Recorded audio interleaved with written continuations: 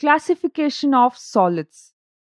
Now, if you look at diamond and glass, we can see that both are solids. But if you look at them at microscopic level, we can see that there is a difference in arrangement of constituent particles. In diamond, the particles are arranged in an orderly fashion, whereas in glass, they are completely disorganized. Based on the order of arrangement of constituent particles, the solids are mainly classified into two types crystalline solids and amorphous solids. Let us discuss about crystalline solid. In a crystalline solid, the constituent particles such as atoms or ions or molecules are regularly arranged in a definite pattern for a long range. Here, the arrangement is so regular that by just knowing the arrangement at any one site, we can very well predict the arrangement of other sites. In other words, there is a regular pattern of arrangement of particles which repeats itself periodically over the entire crystal. The examples of crystalline solids are sodium chloride, diamond, solid iodine, gold, quartz, etc. Now let us discuss about amorphous solids. The arrangement of particles in amorphous solids is not in an orderly fashion. Sometimes in amorphous solids, we can find few tiny orderly arranged portions in between non-orderly structures. Since they are very small in number, they cannot influence the overall structure. Due to this, the overall arrangement of the particles in the amorphous solids is distorted. The examples for amorphous solids are glass, rubber, and plastics, etc. Now, if we notice carefully the glass windows of very old historical buildings, we will observe that these glass panes are thicker at the bottom as compared to the top of the window. This is because as the time progressed, some of the molecules on the top of the glass flowed down due to gravity and accumulated in the bottom, making it thicker. Please note that this process is very slow and takes hundreds of years.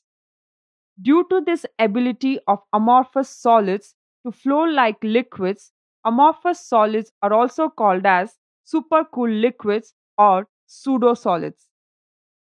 Let's differentiate between crystalline and amorphous solids. The first difference is melting point. In crystalline solid, the arrangement of particles in every portion is same. Due to this, every portion of crystalline solid melt at same temperature. Therefore, crystalline solids have a sharp melting point. Whereas in amorphous solid, every portion of amorphous solid is different from its neighbor. Due to this, every portion will melt at different temperature. Therefore, amorphous solids melt over a wide range of temperature. The second difference is anisotropy and isotropy. Crystalline solids are anisotropic in nature. It means that physical properties are not same in all direction. If we consider this particular direction, the particles are all blue. If we consider this direction, we have alternate arrangement of red and blue. Now, if we consider this direction, the arrangement is again alternate, but the distance between them is more. Due to the difference in arrangement of particles in different directions, physical properties such as electrical resistance, refractive index, thermal expansion, etc. have different values when we measure in different directions.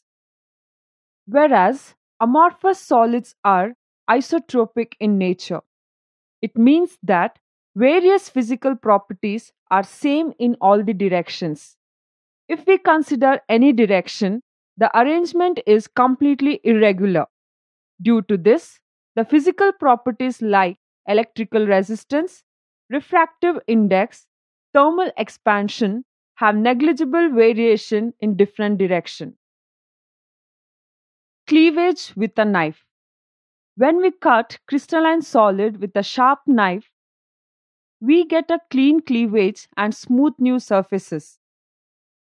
Whereas when we cut an amorphous solid with a knife, we get irregular surfaces.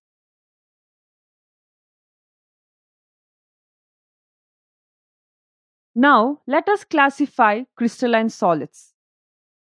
Crystalline solids can be classified into four different categories depending upon the type of constituent particles and the nature of attractive forces operating between them.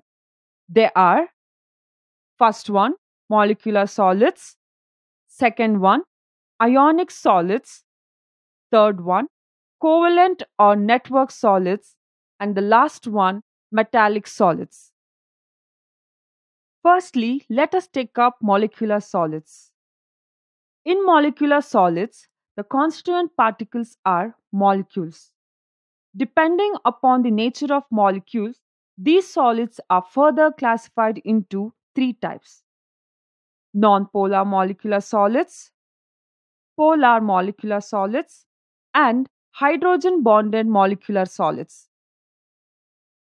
What are nonpolar molecular solids? In nonpolar molecular solids, the constituent particles are either atoms like noble gases such as helium, neon, argon, etc., or nonpolar molecules like H2, Cl2, I2, CH4, etc. Generally, they are liquids or gases at room temperature and they exist as solids at supercooled temperature. In these solids, the electron cloud is symmetrically distributed and the molecules does not have any polarity. Sometimes these atoms and nonpolar molecules lose their symmetry in electron cloud distribution for a shorter time and produce instantaneous dipole. These dipoles distort the electron cloud of the neighboring atom or nonpolar molecule, including dipole moment in them. Now, electrostatic force of attraction between these instantaneous dipoles are called as dispersion forces or London forces. Due to the presence of weak forces, these solids have low melting point and boiling point let us study about polar molecular solids.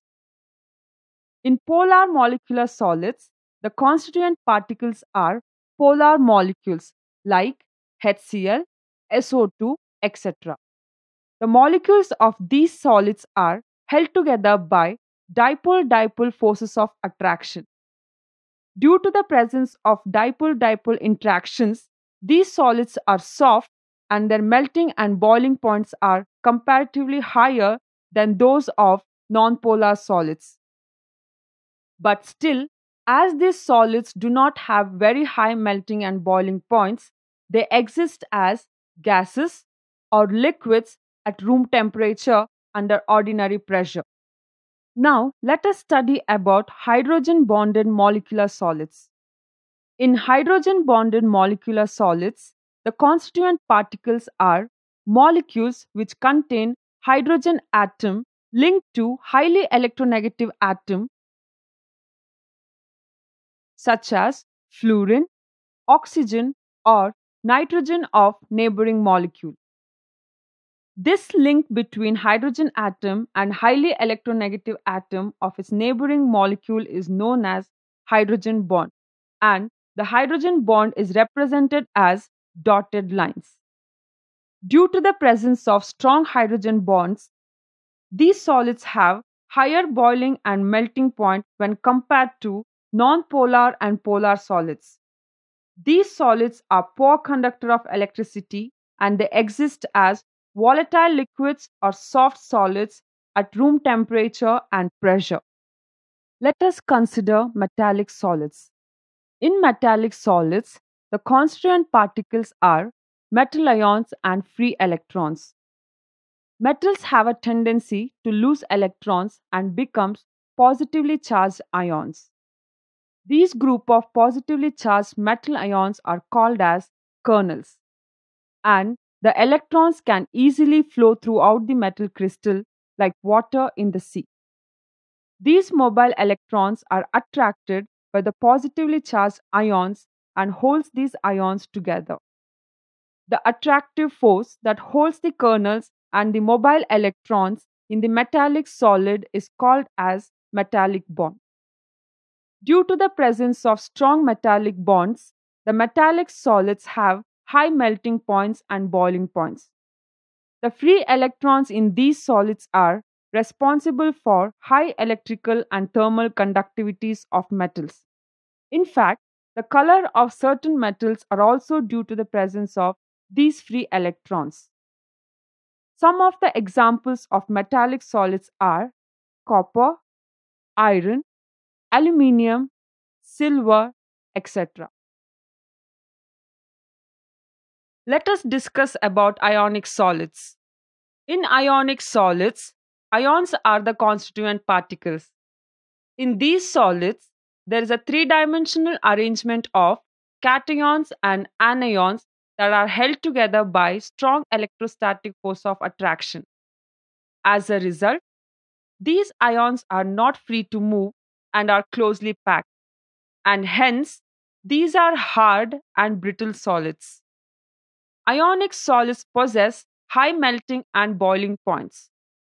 Being ionic in nature, these solids are soluble in polar solvents like water, but insoluble in nonpolar solvents like ether. Ionic solids act as insulators in solid state, but in aqueous solutions or in molten state, they act as a very good conductor of electricity. Here, the question is why are ionic solids very good conductors in the molten state and not in the solid state? In ionic solids, the electrical conductivity is due to the movement of the ions. However, in the solid state, the ions are in fixed positions and they are not free to move. However, in molten state or aqueous solutions, the individual ions are free to move. And when potential difference is applied, these ions act as charge carriers and become good conductors of electricity. Some of the examples of ionic solids are sodium chloride, zinc sulfide, magnesium oxide, cesium chloride, etc. Now, let us discuss about covalent solids. These are crystalline solids in which the constituent particles are non-metal atoms linked to adjacent atoms by covalent bonds throughout the crystal structure. As a result, network of covalent bonds are formed.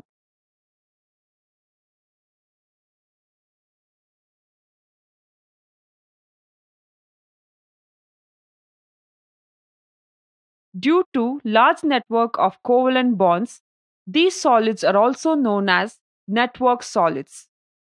These solids are very hard and brittle and have extremely high melting and boiling points.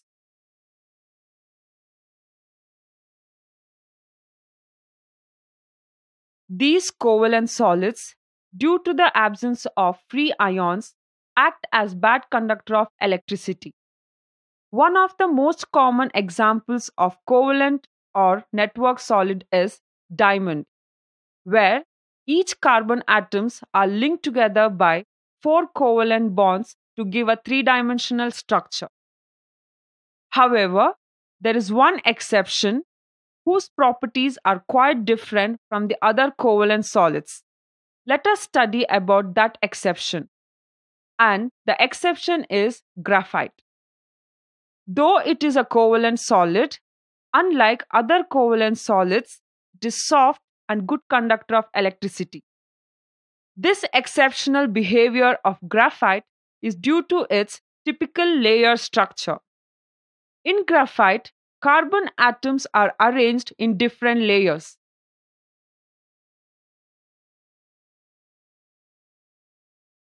We know that carbon is tetravalent in nature and has four valence electrons. In each layer, one carbon atom is bonded to three other neighboring atoms within the same layer.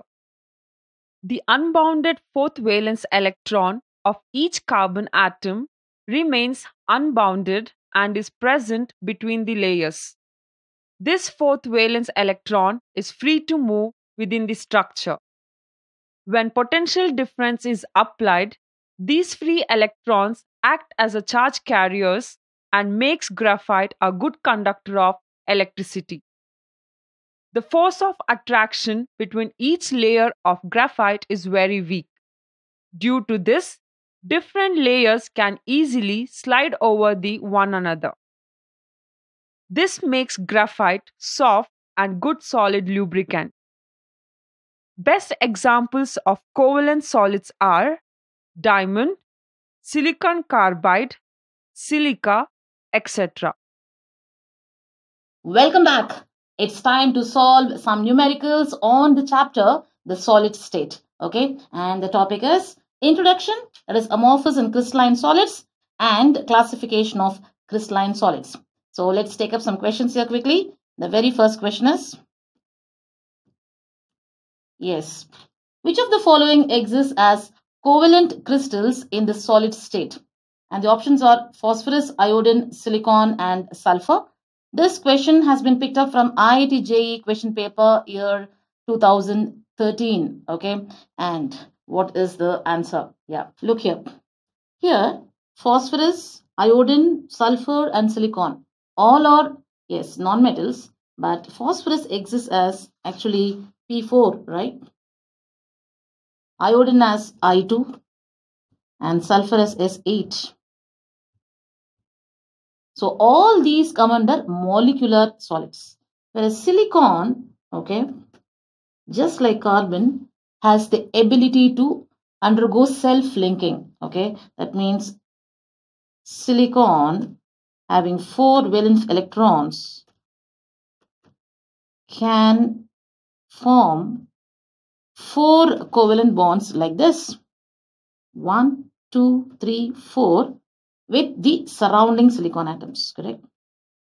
So, since you can see a network here or uh, so many covalent bonds, such a solid comes under covalent type of solid or network solid also. Remember, therefore the answer is silicon, okay?